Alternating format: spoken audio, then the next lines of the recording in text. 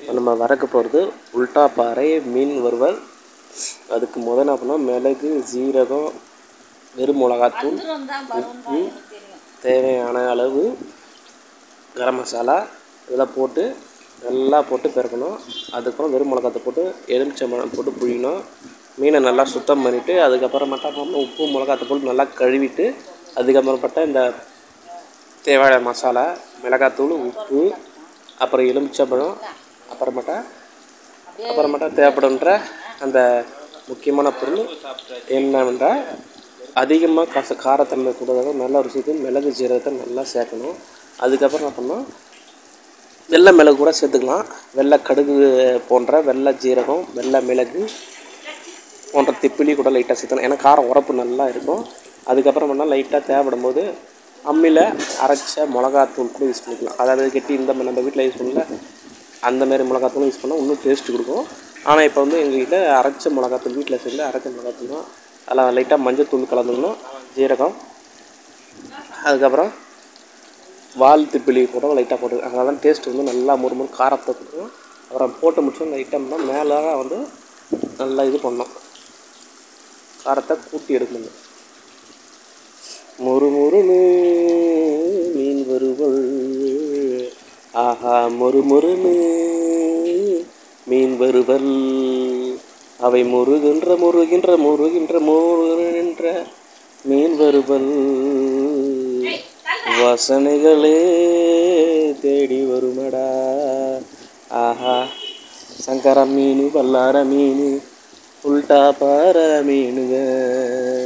எழுத்து மீன் கெண்ட மீன் கோரவ மீன் எல்லா மீன் டேஸ்ட்டு தானப்பா கெண்டை மீன் கொதுவ மீன் பாறை மீன் காம்பாறை மீன் மீனுகளை பல வகையில்.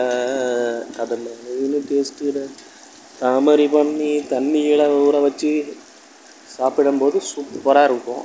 இந்த தாமரை மழை தண்ணியில் வந்து இந்த மீனை வந்து ஊற வச்சு வறுத்து சாப்பிட்டா இன்னும் டேஸ்ட்டு கொடுக்குறோம் அதில் தான் நாங்கள் தாமிரபரணி தண்ணி தான் வச்சு அதை வந்து மீன் வர நல்லா ஊற வச்சு செய்கிறோம் அதுக்கு மட்டும் இல்லாமல் தேவையான மசாலா வந்து என்ன பண்ணோம் அம்மியிலே அரைச்சி யூஸ் பண்ணுறதால இந்த மிளகாத்தூள் மற்ற எல்லா பொருளும் மசாலாவும் நம்ம அம்மியில் அரைக்கிறதால இது வந்து நல்லா சுவை கொடுக்குறது. அதுவும் தோசை கல்லில் போட்டு நல்லா மொறு மொறு மொறு மொறு மொறுன்னு வளர்க்கும் போது சூப்பராக இருக்கும் இதுவே நீங்கள் உங்கள் வீட்டில் தப்புனா தோசை க கல் இல்லைன்னா கடாயில் கூட இது பண்ணலாம். கடாயில் போட்டால் இன்னும் சூப்பராக மொறு மொறுக்கு அதான் கடாய் மீன் வறுவல் சொல்லுவாங்க. அதுலேயும் போட்டு பார்க்கலாம். இல்லைன்னா நீங்கள் உங்கள் வீட்டில் வந்து சட்டி இருந்துன்னு வச்சுக்கோங்க. சட்டியில் போட்டு கூட மீன் வறுவல் வந்து வறுத்து சாப்பிட்டா இன்னும் சூப்பராக இருக்கும். அருமையாக வந்து மீன் வறுவல் வந்து வறு வறுவன் மொறு மொறு மொறு மொன்று நல்லா முன்னும் பக்கம் பின் பக்கமாக திருப்பி திருப்பி வறுக்கணும். எண்ணெய் கூட அந்த அது நல்லெண்ணெய் ஊற்றி வறுத்துக்கும் போது அப்படி இல்லைன்னா உங்கள் வீட்டில் வந்து மல்லட்டெண்ணெய் யூஸ் பண்ணக்கூடாது. ஏன்னா மீனில் வந்து மல்லட்டெண்ணெய் கசப்பு தன்மை வந்துடும் நீங்கள் நல்லெண்ணெய் அப்படி இல்லைன்னா சூரியகாந்தி எண்ணெய் வந்து யூஸ் பண்ணுங்கள் நல்லா பருக்கணும் சப்போஸ் அப்படி இல்லைன்னா பாமாயில் கூட யூஸ் பண்ணலாம். ஏன்னா மல்லாட்டை எண்ணெய் யூஸ் பண்ணால் கசப்பு தந்துடும் நல்லெண்ணெய் ஊற்றினா கொஞ்சம் டேஸ்ட் கொஞ்சம் வரும். ஆனால் அந்த அளவுக்கு வந்து சுவை இருக்கும். நறு நல்லா மொறு மொறு மொறுன்னு. பாருங்க நல்லா நம்ம கிறிஸ்பியான மொறு மொறுன்னு இருக்குது பாருங்கள் அந்த மொறுமொறுப்பு வந்து நல்லா அதோடைய ஜூஸ் வந்து நல்லா இறங்கி சாரெலாம் இறங்கி நல்லா அபிட் ஆகுது பாருங்கள் இந்தமாரி நல்லா ஜூஸி ஆகி இந்த மீனோட ஃபேட்னஸ் வந்து கரைஞ்சி இந்த அப்படியே இந்த எண்ணெயோட ஃபேட்டோட கரையும் போது நல்லா மொறு மொறுமொறு அது ஒன்றும் பதிவன்ட்டு அதோட சேர்த்து பாருங்கள் நல்லா வந்து அந்த ஜூஸி பாருங்கள் நல்லா ஜூஸி ஆகுது.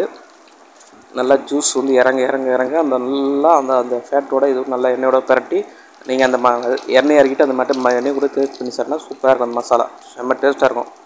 இதான் மீன் வறுவல் தயார். சூப்பரான மீன் வறுவல்.